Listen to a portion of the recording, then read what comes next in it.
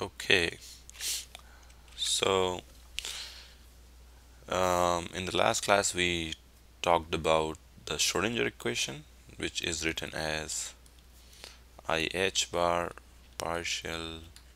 over T psi xt equals minus h square over 2m nabla square psi xt plus vx psi xt.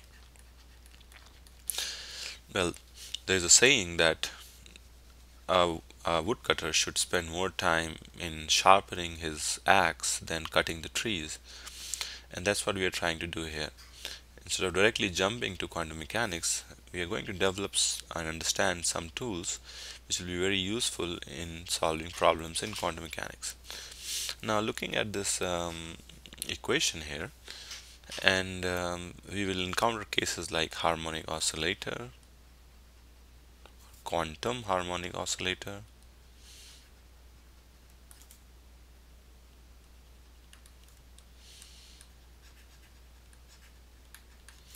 or hydrogen atom.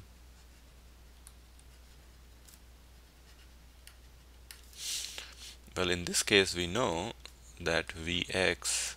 is given or actually yeah is given as half kx square. In this case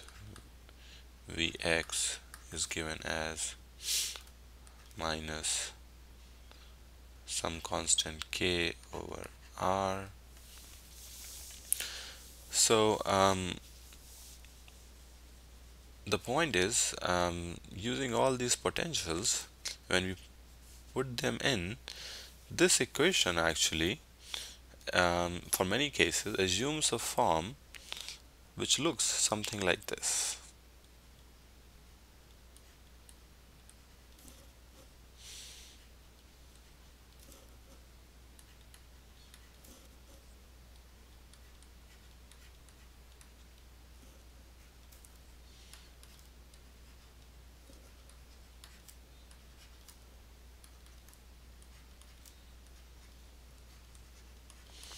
So for most of the examples we are going to discuss, um, and this is a powerful theory, uh, for most of the examples we'll discuss, we'll see that all these kinds of potential, which we'll very often encounter, like potential because of harmonic oscillator, uh, simple um, Coulombic potential,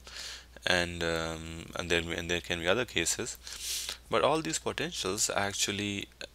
um, give us a, a differential equation, or this is a differential equation which looks which can be remodeled in this form. And this particular equation is called the Sturm-Liouville uh, equation. And the theory behind this is called Sturm-Liouville theory. And in, for this particular equation px qx and wx are all greater than 0 they are continuous and well defined on the interval AB um, and what is uh, well w is called the weight here and lambda is, is, is an eigen eigenvalue of this equation. So with different lambdas we actually get different um, y's. Y is the independent uh, is, is a dependent function. So for different lambdas we get different y's and um, um, and and these lambdas are actually called eigenvalues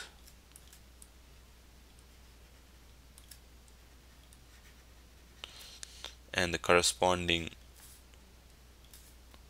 y are called eigenfunctions.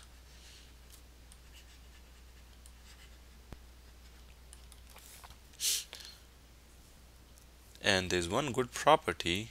these y's satisfy, these y they satisfy is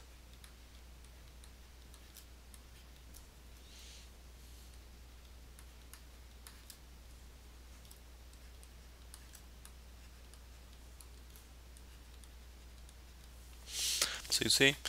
uh, they are orthogonal with this weight.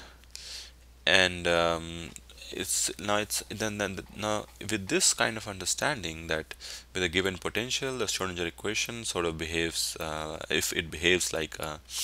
um, Sturm Liouville system then the solution can be written as a linear combination solution for psi can be written as a linear combination of eigenfunctions which is nothing but the problem we have in um, linear algebra. If this is the system of equation where um, y um,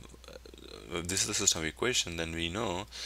then actually I should write, write it just the other way around then we know that I can write well it doesn't make any difference. I can write y as a linear combination of eigen vectors.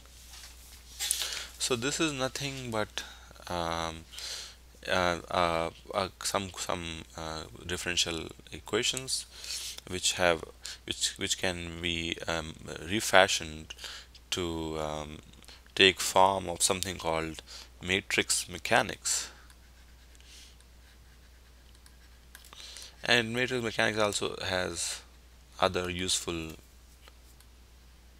it is useful in other other um, areas also but right now the point is with this new with these eigenfunctions which can be used to write solution for psi the whole thing can be modeled to write in matrix forms and uh, the reason we we invoke I mean I, talked about Sturm Liouville theory is because you will find many many cases um, while going through this quantum mechanical course or in fact uh, through any book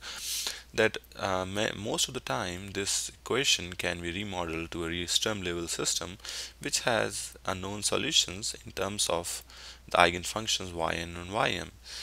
and the whole thing can be modeled in terms of matrix mechanics. And the next topic is going to be matrix mechanics um, and uh, some other notations that we are going to use in uh, understanding and solving problems in quantum mechanics